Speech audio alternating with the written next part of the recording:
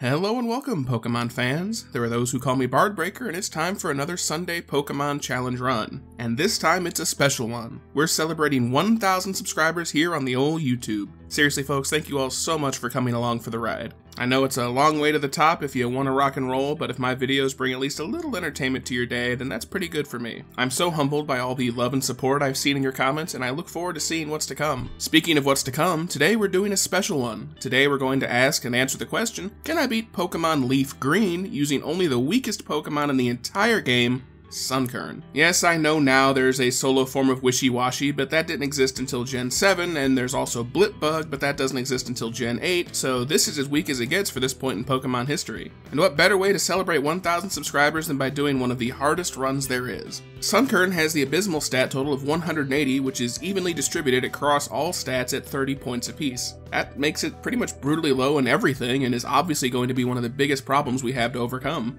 Moveset wise, really isn't god awful at first glance. We have Absorb and Growth right out of the gate, which will make an interesting combination, even if our stats are pretty low. We learn Mega Drain relatively early, and that's going to be pretty nice. And the fact that Brock and Misty are our first two main obstacles early will be in our favor since we have the type advantage.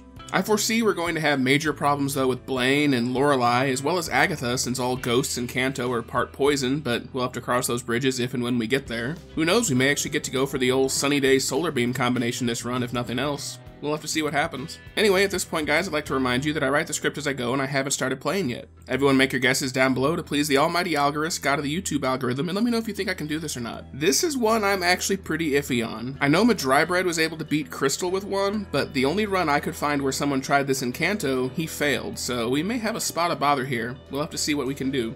Lastly, as we begin, let's take a final look at our rules. In battle, I can only use Sunkern. I'll need other Pokemon for HMs, but I won't be allowed to use those Pokemon in battle. I won't be using any items in battle. Held items and items outside of battle will be allowed though. And lastly, no cheats, glitches, or exploits. So let's begin. Right out of the gate, I use the Universal Pokemon Randomizer to replace Bulbasaur with Sunkern so we can do the entire run with it. This will also ensure that our rival takes the Fire Starter and have the hardest for us to fight against, because this wasn't going to be enough of a challenge already. I nickname our Sunkern Seedot, because Sunkern is so bad that it honestly thinks Seedot is something worth aspiring to become. To no one's surprise at all, we lose our first fight against our rival Tim. Who could have seen that coming? Anyway, we take a look at our stats, and we're adamant nature, which means more attack and less special attack. Oh, for God's sakes, really? Come on. Grass type is all special in Gen 3, so what the heck, game? Well, this is gonna suck way more than I thought it would. But hey, if we can somehow pull this off, that's gonna be even sweeter. But for now, it's time for Package Delivery Simulator again, and then we get to level up and grind. Oh, and our ability is Chlorophyll, which boosts our speed in harsh sunlight, but that'll probably never come up. But anyway, on to that grinding we were talking about, and yeah, just look at this battle against a level 3 Rattata. We lose. We lost a fight against a level 3 Rattata. That is not a good omen at all. Several failed attempts at Rattata later, and we're finally up to level 6 and learn growth, which will be very, very helpful. While grinding, we stop and catch a Mankey for strength later, nicknaming it Bisepticus the 27th. Long may he live. And later, a Spearow for fly later, nicknaming it Flapsity the 27th. Long may she fly. Several episodes worth of the Clone Wars later, and we've ground our way through Viridian Forest and reached Brock at level 16. We've learned Mega Drain along the way, and he's a one-shot sweep through both of his team, who are four times susceptible to grass moves, and that's one badge in the books, and we're finally able to move forwards. Mount Moon is actually rather annoying due to all the Zubat and Paras which resist our grass moves, but we do catch a Clefairy here for Flash later, nicknaming it Flashelius the 27th. Long may she shine. We make our way into Cerulean City and head straight for the water gym. We throw a growth in to start off, but we just use Mega Drain over and over to take Misty and her stars right out of the sky. Her Starmie can hit decently hard with Water Pulse, but I don't think we were ever in really significant danger here. We try the rival fight on Nugget Bridge north of town, but we just can't deal with his Pidgeotto yet. We're just not strong enough. We try over and over, but we're just too weak. Pidgeotto and later Pidgeot are gonna be big roadblocks this run. We're gonna have to grind. And honestly, we don't have a lot of options for grinding here. We can only grind on this one patch of grass west of town, and at least we're in leaf green, so Sandshrew spawn here sometimes instead of Ekans. It's still a bit of a grind to get our levels higher up, but at level 30 we try our rival again. And he's still very difficult to get past, even if we do manage to knock out the Pidgeotto, we have a Charmander right after it to deal with. We have to keep making attempts until we get a run where the Pidgeotto chooses to go for sand attacks rather than gusts to start with. I know it's counterintuitive that we would want to be hit with Sand Attack, but Gust just does too much damage for us to deal with. This finally allows us to get 4 or 5 growths in place before we go on the attack. We also have to get lucky with our accuracy, obviously. Fortunately we do and bring down the Pidgeotto. Charmander is next, but we get a lucky critical hit to do a lot of damage and nearly bring it down on its own. Another hit brings us past the Charmander and it's pretty much smooth sailing from here. We ingrain on the Abra which can't attack, just in case, but that allows us to get some health back. And then we miss a couple of Mega Drains on the Rattata before finally taking it down to move the plot along. Now we can finally move up Nugget Bridge and make our way to Bill. Nugget Bridge and the route up to Bill are actually both great places to grind here on some trainers. There's a few hikers here with Geodude and Onix that are easy victories for us. We do struggle a wee bit against the trainers who have Pokemon like Oddish, which double resist our moves, and a couple of the Nidorans that actually knew Peck, for some reason. But eventually we grind our way to Bill and discover the man who has perfected the splicing technique from Batman Beyond a lot earlier than the show led us to believe, and we get the SS ticket for our trouble. With that, we can head south to Vermilion City and finally do the SS Anne. On our way out of town, though, we stop and catch a Meowth for Cut later, nicknaming it Snipticus the 27th, He Cut, as well as several more Meowths for their ability Pickup. It's an ability that allows a Meowth a 10% chance to pick up and hold an item after each Pokemon we knock out in battle. In Fire Red and Leaf Green, the loot table was changed to look more like a vegan's wet dream since it's mostly berries, but we do have a small chance to pick up things like rare candies, PowerPoint ups, nuggets, and the TM for hidden power. We aren't going to get a lot of those, but they will be helpful to at least some degree for sure. We clear out the trainers on the SS Anne, but as predicted, we're having a hard time against the rival. Again, the combination of Pidgeotto and Charmeleon is a rough one-two punch to get past. On our best attempts, we get our accuracy obliterated with Sand Attack, and we just can't hit anything. Guess we're gonna have to level up a bit and do some more damage. So rather than leveling up, we fortunately found that one of our Meowths had picked up the TM for Hidden Power along the way, and I teach it to Sunkern. After testing out what type we have, we discover we actually have the Electric Hidden Power, which is super helpful here. Also, Electric is special, so it'll get a boost from growth, even better. So finally, after numerous attempts, we get a run where we have enough accuracy luck to set up three growths so that we can do enough damage to bring down the Pidgeotto and the Charmeleon, while also still having enough health left to not be finished off by a quick attack from the Raticate that comes out next. Trying to keep us in the fight, I start to go for Mega Drains against the Rattata and then against the Kadabra, and after over an hour of attempts, literally, we're finally able to get past our rival. From there, we massage the captain of the love boat and get our reward.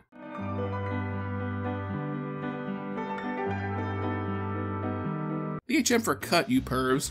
Get your head out of the clouds. Afterwards, we leave the ship and head straight for Lieutenant Surge's gym. We get his trash can puzzle on literally the first can we picked, and then the battle begins. We set up a couple of growths for safety, but then we just mega drain down his team. Raichu comes out and sets up some double teams of its own, which really affects our ability to land a hit. Our power points for Mega Drain are dwindling, but fortunately we land enough hits through his evasion buffs and our paralysis, but we take him down and secure the next badge. I was really not looking forward to having to use an electric type hidden power against an electric gym if we ran out of Mega Drains. Our Meowths haven't gotten us any PowerPoint ups though, so we're gonna have to see what happens. After that, we go catch a few Pokemon so that we can get the HM for Flash to use on our trip through Rock Tunnel. Now that we're in Celadon City, we go to the Team Rocket hideout, and it does take a few attempts going in and out before we can get to Giovanni. Once we get to Giovanni, though, we don't have any issues. Giga Drain takes down the Onix and the Rhyhorn, and after a few growths, we're able to bring down the Kangaskhan as well. With that, we can secure the Silph Scope for our trouble and head on back to Lavender Town. Once there, it's time to take on Tower Tim once again. He's still opening with the Pidgeotto, and we're by no means safe to set up, but we don't really have a choice.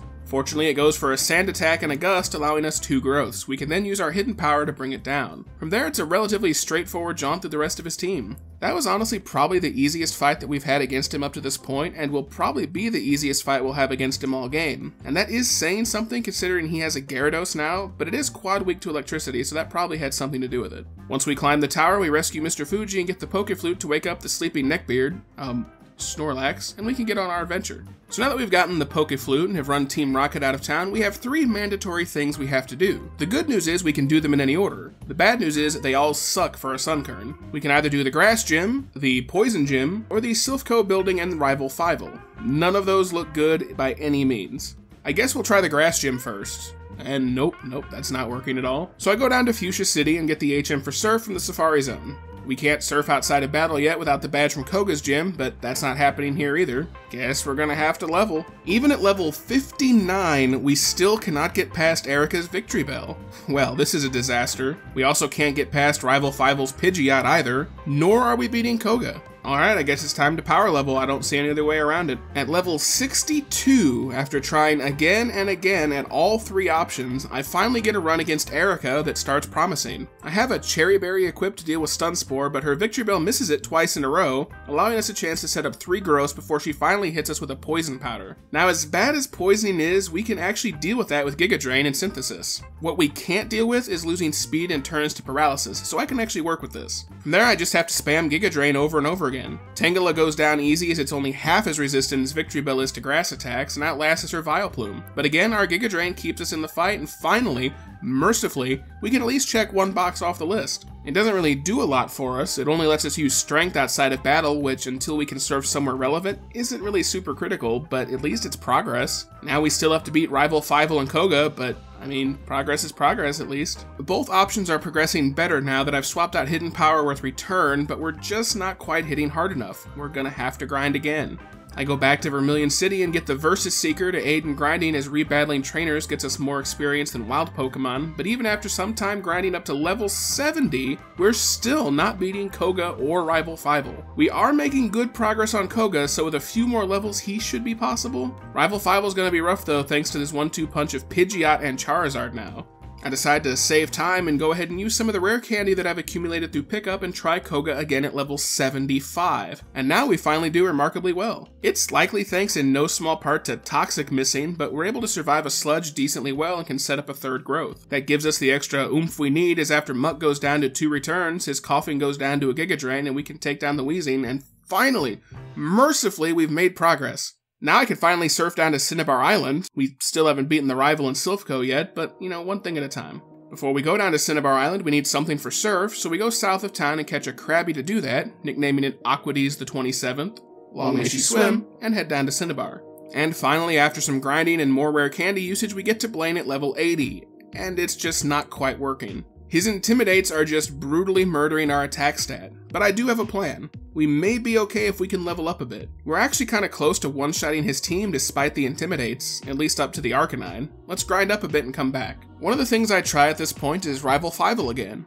I still can't one-shot the Pidgeot or the Charizard, but I do have a strategy that will work if luck aligns our way. Pidgeot is out first and will always hit a wing attack, but we can survive it reasonably well enough, though it does unfortunately land for a crit. Charizard is next, and even from full health, we will not survive a flamethrower, but we can one-shot it if we get a crit, which we do. Next out is the Exeggcute, so I heal up with a Synthesis as it misses Stun Spore. I start setting up growths here as it lands a Stun Spore and we heal it with a Cheri Berry. Finally, its third Stun Spore sticks, and now we're in a bit of trouble, but we've gotten our three growths in and we go for Giga Drain to bring it down. Alakazam is next and sets up a Future Sight as we're paralyzed, but just goes for Calm Mind and we're able to hit it with Return to bring it down. Last out is Gyarados, which chunks our attack with Intimidate, but we go for Giga Drain, which hits hard. It's a tense moment because he lands a crit, but we're finally able to bring him down and mercifully move past Rival Fivel. We heal up and then head back to Giovanni. Giovanni does start out a bit testy as his Nidorino puts up a good resistance to a growth enhanced Giga Drain, but a return finishes the job. Nidoqueen gives us the chance to set up another growth and we do more damage with Giga Drain now and can bring it down. Kangaskhan nearly goes down in one hit, but just hits Rage and we bring it down with another. Last out is Rhyhorn, who easily goes down to one quad effective Giga Drain. With that nightmare of a building out of our way, we can go take on Blaine or Sabrina. I don't think we've got enough levels yet, so let's clear out the Psychic Gym first. And we absolutely mop the floor with Sabrina. A lot of Psychic Pokemon tend to have paper thin defense. We're vastly overleveled and we hit very hard with a max friendship return. So even though we beat the crap out of Sabrina, we haven't really leveled up very well, so we're gonna have to grind a bit before taking on Blaine. While Grindy and I take the time to go to the power plant and beat up on Zapdos. I don't know why, I guess I just kind of wanted the experience for beating a legendary. So I decided to settle on mostly spending my time here grinding in Pokemon Mansion on Cinnabar. We're strong enough to one-shot just about everything here without issue, and there's really nowhere better to grind. It sucks that we can't get into Victory Road or even the Viridian Gym because there's a lot of trainers with better experience yields there that we could grind off of much easier. But I decide to grind up to level 88. At that point I have enough rare candy left to make the last jump to level 100, which will certainly need to be, but I'd like to beat as much as I can before getting there. I decide to burn a few more rare candy for the Fire Gym. Pun and level up to 95 and try this again and again. I know it's doable, we just need everything to go right for us. And finally, we get this run. Growl is out first and intimidates us, so we set up a growth as it misses Fire Blast. We go for growth again and it hits Fire Blast. At this point, we Giga Drain to heal up and bring it down. Ponyta is next and we go for a third growth and it hits hard with a Fire Blast, but we're just able to survive it and go for a Giga Drain to bring it down. Rapidash is next, and we bring it to red health with a Giga Drain as it misses Fire Blast. At this point, I start thinking and realize Blaine is going to Hyper Potion, so I go for a fourth growth since now we get two attacks in a row. After the fourth growth is in place, we're able to one-shot the Rapidash. Arcanine is next, and we hit it hard with a Giga Drain, and it misses Fire Blast, and we finish it off with a second Giga Drain. Whew, that was intense. We had to reset so many times, but we didn't have to resort to any cheese yet. We just beat Blaine with a Sunkern, no cheese, and not being level 100. I'd say that alone is pretty impressive enough, but there's still more to come. We fly back to Viridian City and take on the ground gym. None of his trainers stand a chance, and to be honest, neither does Giovanni. I set up a growth on the Rhyhorn for safety, and we just blow away his entire team with Giga Drain in return. Only Nidoqueen survived, but it just hit a weak body slam, a phrase you don't normally hear, and we secure our final badge without incident. It's not smooth sailing though, we still have another rival fight with Tim before we can even get to the Elite Four. Let's give it a try.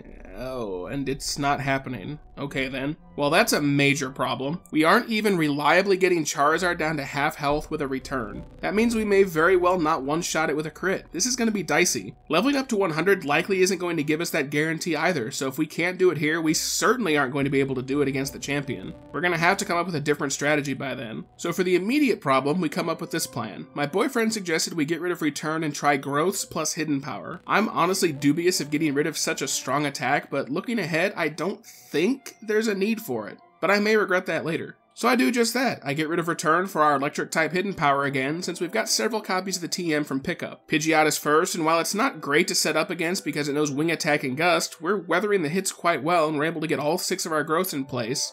We had to spread a few syntheses in there as needed, but once we got all six growths in place, we go for Giga Drain, which one-shots the Pidgeot despite its type advantage and heals us back to green. Charizard is next, and we have to one-shot it or we die to Flamethrower from full HP. Never mind our current, but we managed to do just that with our electric hidden power. Thank god we got that type or else we'd have been screwed. Exeggcute is next and survives a hidden power thanks to the electric resistance, but misses Stun Spore, so we finish it with Giga Drain. Rhyhorn obviously goes down to Giga Drain, as does the Alakazam, and last out is Gyarados, which is quad weak to electric moves and goes down to hidden power. With that rival fight out of the way, we're on to the Elite Four, and we still have yet to deploy any double team cheese. At level 100, Victory Road was uneventful, and you can skip most of the trainers there, and since we're at max level, there's really no reason to face them in the first place. Lorelei is first, and while she's mostly a water specialist, all of her Pokemon know ice moves, which not only are we weak to, but is special in this gen, so not great. After a few failed attempts, thanks usually in part to Jynx putting us to sleep, we finally get a decent looking run. Seel is out first, and we get off a growth, and it sets up Hail, but that lets us get in two more growths before taking it down with Giga Drain. From there, the rest of her team is really no obstacle. Jynx survives a Giga Drain, missing its chance to put us to sleep with Lovely Kiss, and then goes down to another. From there, it's just her Cloyster, but it goes down in one Giga Drain, and there's one member of the Elite Four down. I ether up Giga Drain and move on to Bruno. Fighting Trainer Bruno is next, and he sends out an Onix first, which fortunately allows us to set up a few growths as its Rock Tomb isn't doing much against us at all. After we do lose a few ticks to our speed, he misses an Iron Tail a couple of times, and we bring it down with Giga Drain. From there, Hitmonchan, Hitmonlee, and the Machamp all go down to the 1-2 punch of Giga Drain and a Hidden Power each, and then the final Onix is of course taken down by a single Giga Drain. Once again, as usual, Bruno provides little to no resistance. Agatha, on the other hand, is an absolute brick wall. I can't use something like Attract here since all of her Pokemon are female. I guess Pokemon has something against lesbians, and we're just unfortunately stuck. We're weak to poison, and her Arbok is brutal with its Sludge Bomb. And even if we can get past the Arbok, her second Gengar has Sludge Bomb too. Even with 6 growths, we can't seem to one-shot any of her team. Well, we could probably one-shot her Golbat if we could get to it, but we just can't even get there. I'm afraid to say it, but we're gonna have to use Double Team now. But what am I going to replace? So at this point, I decide to replace Giga Drain with Double Team, and it may sound terrible, but I do have the TM for Giga Drain from beating Erika, so I can put it back later. And I don't want to get rid of Synthesis because I'm probably going to need it for the champion again like we did earlier. Alright, yep, Giga Drain's the one that's got to go, since all of her team resists it anyway. So to make a long story short, we just have to set up a full array of cheese here.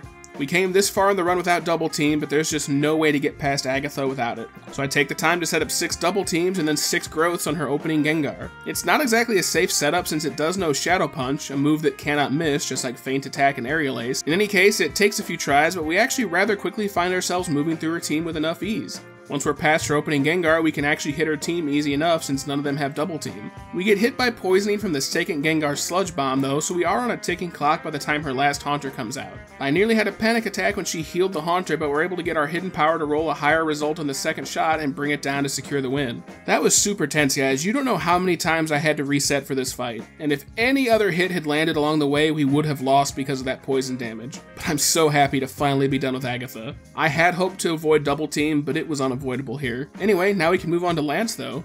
And Lance is a tricky pickle. We can actually reliably get to his Dragonite, but unfortunately it's just way too strong a tank here.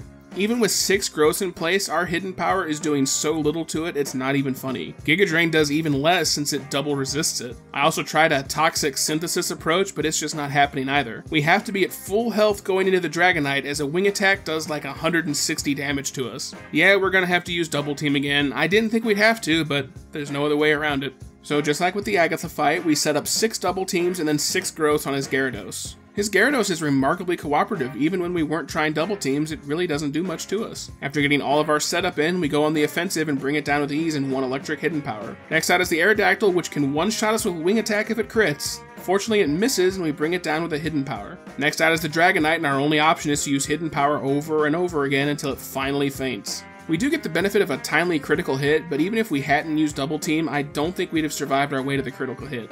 After Dragonite are two Dragonairs, who both resist hidden power as well, but thanks to leftovers healing us from the rare occasion they actually do manage to hit us, we're able to miraculously knock them out and get past Lance. Now we heal up, elixir up, and move on to the champion. And the champion is, as you'd expect, a major obstacle. I can't even use the same strategy I used back in Viridian City here. Pidgeot has replaced Wing Attack with Aerial Ace, which while having the same base power, Pidgeot's gone up in levels, which result in better stats since we've been stagnant since we maxed out in Viridian City. Our synthesis growth strategy just isn't going to cut it here. I can't really rely on double team here either, as Aerial Ace bypasses evasion checks and always hits, and not only does Pidgeot know it, but the Charizard does too. So after sitting around a while and numerous failed attempts, I suddenly remember that I have Attract. It wouldn't work on Agatha due to lesbianism, but Lance's team is all male. So I finally settle on my strategy of Attract, Growth, Giga Drain, and Hidden Power for the moveset, and I've equipped a Quick Claw as we need it if we have any hope of going first against Charizard or Alakazam. This isn't a great strategy by any means, but it's literally all we can do short of using items in battle, which I'm not going to do. We just need to make attempt after attempt until we can get Quick Claw to work and allow us to use Attract, and then get Attract to do its job. So while you're watching hours of abbreviated attempts on the screen, all made at 4.5 times speed up by the way, so basically quadruple the number of attempts you'd make in a normal length of time, let's explain how there's literally so much here that has to go right that it's not even funny. Thank God we can at least outspeed the Pidgeot normally, otherwise this would be a million times more impossible than it already is. What we have to do here is attract the Pidgeot on our first move and then set up 6 growths. For those keeping score at home, that gives Pidgeot 7 turns to attack us. While Attract does take a lot of the danger out of the equation, it's by no means a safe harbor. Attract makes it so that each attack by the opponent has a 50% chance of going through, but that still means statistically that the Pidgeot will attack us around three times each attempt. Pidgeot has several attacks to choose from, but what we would like to see, if an attack does go through, is Feather Dance. That won't hurt us at all, as we aren't using our physical attack stat anyway. Sand Attack is okay, but that's going to hurt our accuracy, which then hurts our attack chance. Aerial Ace can one-shot us with a crit, but we can take one or two regular ones if need be. Once we get 6 growths in place, we can one-shot the Pidgeot with a hidden power. Yes, we do need all 6 in order to bring it down in one. And then we get to deal with the Charizard, which is where three major problems all come to bear at once. We cannot one-shot the Charizard without a critical hit, so that's a huge problem when you consider that another huge problem is, even if we're at full health, we will lose to a Fire Blast if it hits it does that much damage. All of this, though, is secondary, however, to the fact that Charizard outspeeds us. So we have to rely on either him missing his first attack or our Quick Claw activating, allowing us to go first. Whatever we do, our first attack has to be Attract, and if we miss it or he hits through the Attract, we have to do it all over again. If we manage to somehow get past the Charizard, we then have to deal with Alakazam next, and he's no treat either. He also outspeeds us, so unless we're at full health, we will not survive a Psychic, so we need Quick Claw to work or else this run ends at Alakazam. From there, I honestly can't say. At the time I'm writing this part of the script, I haven't been able to get a hit off on the Alakazam. It's rare enough that we even get to it, and we just are not getting Quick Claw to activate against it when we do. The more I think about it, I may actually be able to one-shot it with Giga Drain, and from there the rest of his team consists of a Rhydon, which one Giga Drain will end, a Gyarados, which one Hidden Power will end, and an Exeggutor, which has fairly low special defense, so it may be a one-shot even though it resists both of our moves, but it's most likely a two-shot.